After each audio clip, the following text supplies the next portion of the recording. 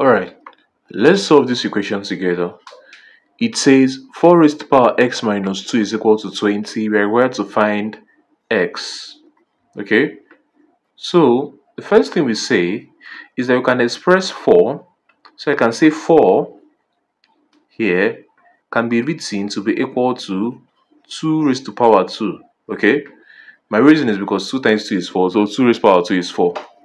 Now 20 on the other hand so I can write 20 to be equal to what? 20 is equal to 2 raised to the power 2 times 5. Okay? Because 4 times 5 is 20. Okay? Now moving on, I can replace 4 and 20 with this in this equation. So let me go ahead and do that now.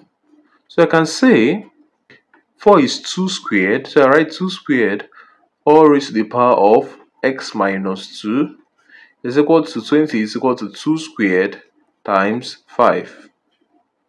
Alright?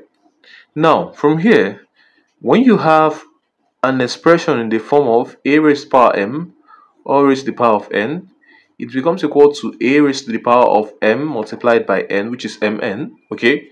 So this one, 2 raised to the power 2 or raised to power x becomes equal to 2 raised to the power 2x minus 4 to be equal to 2 squared times 5. Alright?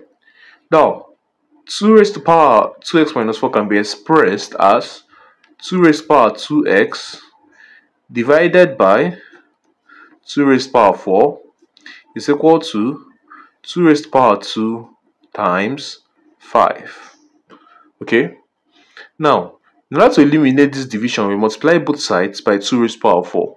Okay, so if we multiply both sides by 2 raised to power 4, we can eliminate this. Okay, so we say multiply through by 2 raised to power 4.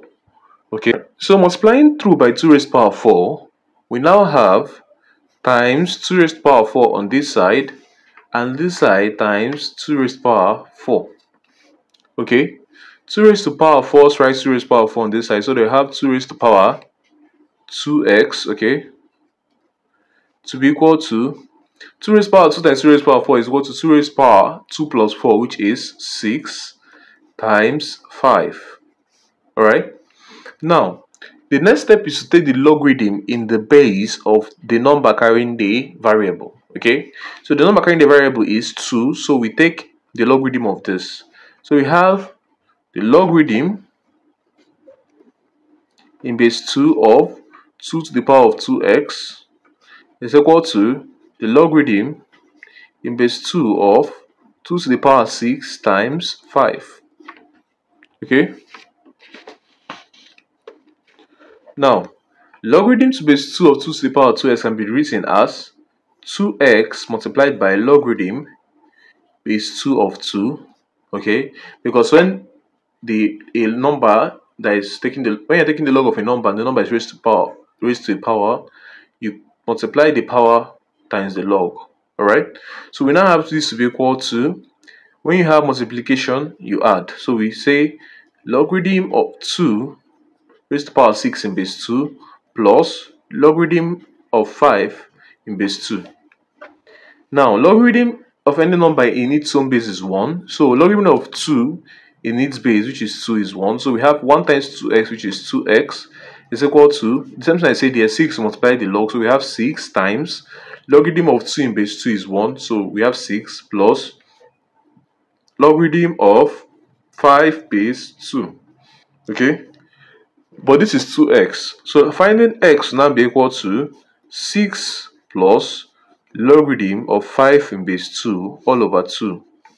Hence our x now become equal to 6 divided by 2 is 3 plus, okay, logarithm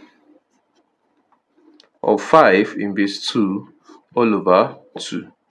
Okay, so this becomes our final answer to this question. Thanks for watching. I'll see you guys in the next video. Bye bye.